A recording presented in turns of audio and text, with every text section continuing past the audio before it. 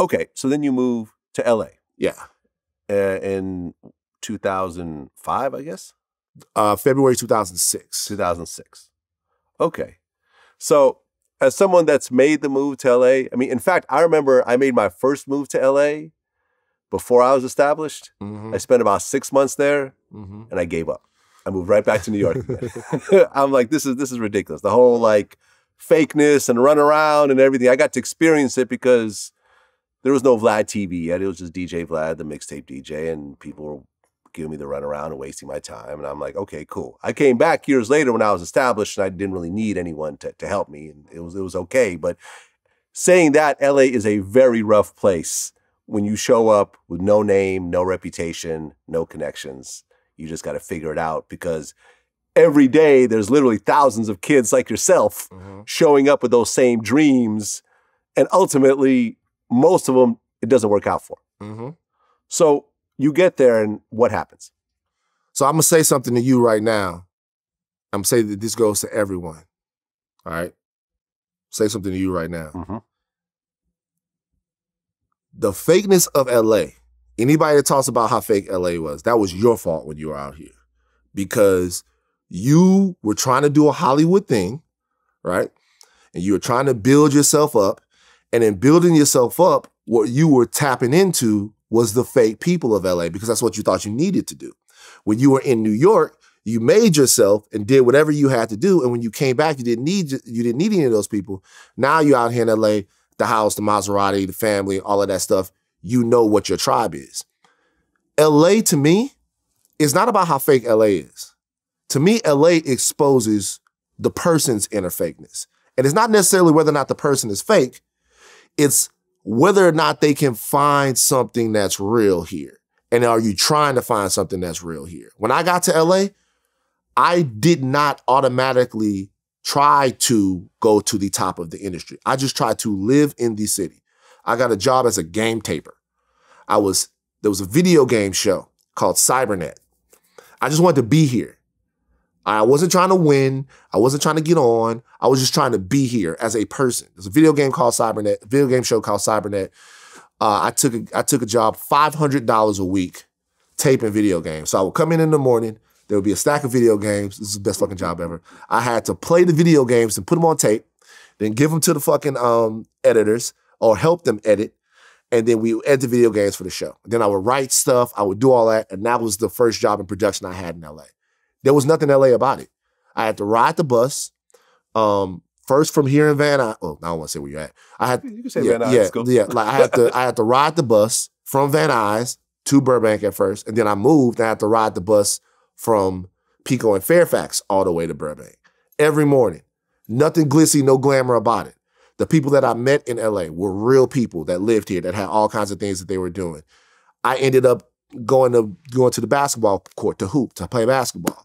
I met all kinds of niggas on the basketball court, like real people. Some actors and some other people like that, but real people. And I established a base of friends here, um, people from all over the place that have all different types of diverse stories because I wasn't looking to get anything from anyone. I was just figuring myself out as I was here. And I think the first thing that I would say to people that come out here is when you come out here, be a person at first. The actor or the singer or whatever, go hoop, play basketball, meet people at the gym, go walk at Runyon Canyon.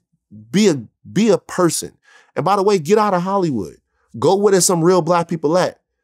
Hit Leimert on a Sunday or a Saturday.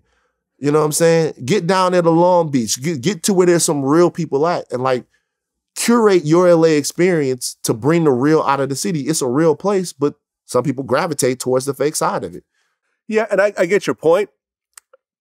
Coming from New York, and You was trying to get that bottle service. no, I wasn't trying to Vlad get was bottle up there. service. Vlad, no, Vlad no, was up. no, Vlad no. was hitting Chris. No, I was Vlad, not. Vlad, was, Vlad was in Emerson. Vlad was trying to get that bottle service, and people weren't opening the doors. You're like, "Ah, this is fake shit. Let me go back to New York." And then you came back. I bet you came back and you was established, and you came back and you start dropping your nuts on people, didn't you?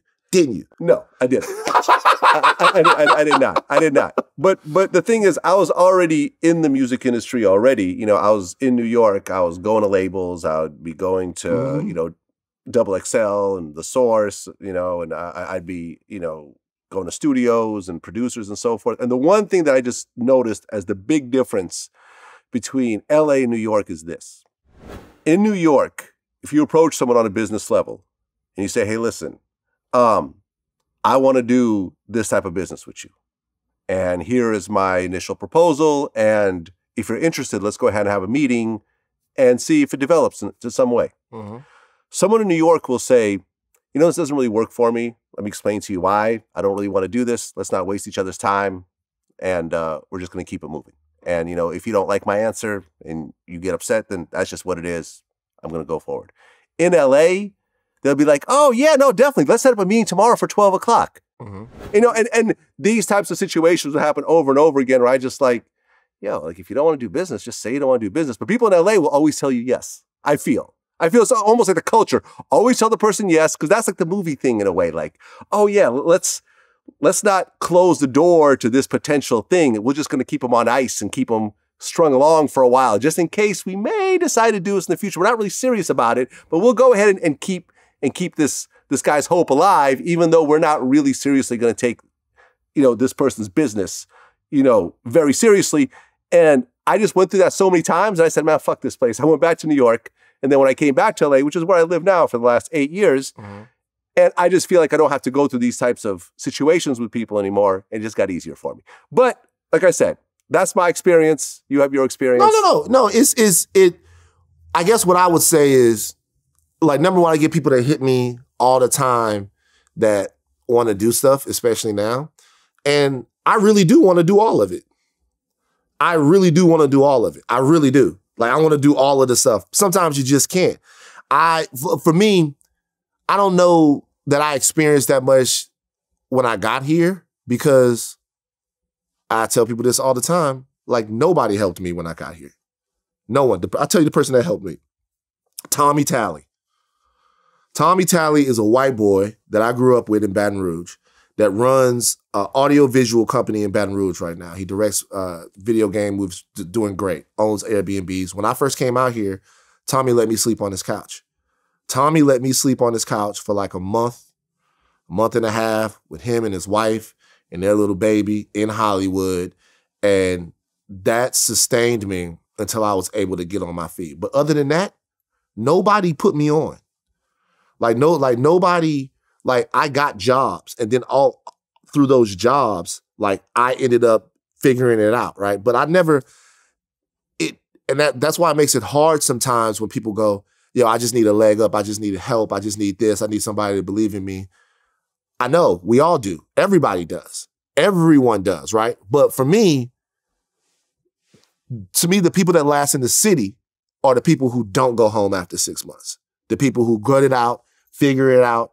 Even if you working as a valet, even if you working as whatever, you just keep going there. You keep getting it. You keep doing whatever it is that you're doing. So it was just a different experience. Um, of course, there were people that told me that they were going to do certain things that they didn't do them. Of course.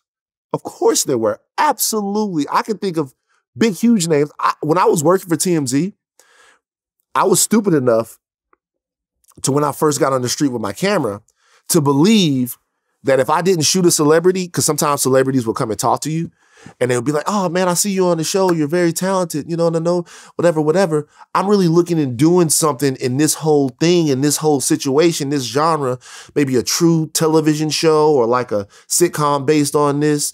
Like, rather than us do this interview right now, why don't you like uh, take my number down and send me over some ideas, and we can build something out for you, whatever, whatever. Mhm. And I did that a couple of times with people. I got snake oiled by people who just didn't want to be on TMZ that day. Hmm. And then after a while, I'm like, ah, fuck it. You know what I mean? And now Yeah. when I see him, I jab him. And now there's one specific guy that I see him, I go, hey, are we still gonna do that paparazzi show? Or is that just bullshit? So I didn't shoot you on the street. Right. And he's like, ha ha ha ha, yeah, nigga, ha, ha, yeah, I get you. Um, but so yeah, so to me, uh, there's obviously fakeness about LA, but look, man, it was fakeness where I come from. The people were a lot realer overall, but it's fakeness everywhere. You gotta just find and tap into the real. That's what I would say to people. Fair enough. Fair enough.